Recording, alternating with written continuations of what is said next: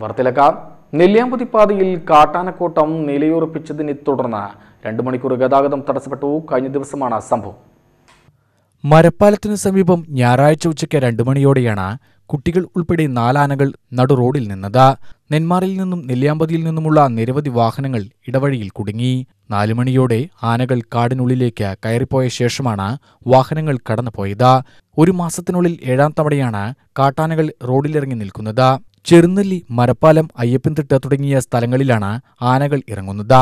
അഞ്ചു മാസമായി bus service നിർത്തിവച്ചതിനാൽ ഇരുചക്രവാഹനങ്ങളിലും ജീപ്പുകളിലുമായാണ് കൂടുതൽ ആളുകൾ യാത്ര ചെയ്യുന്നത്.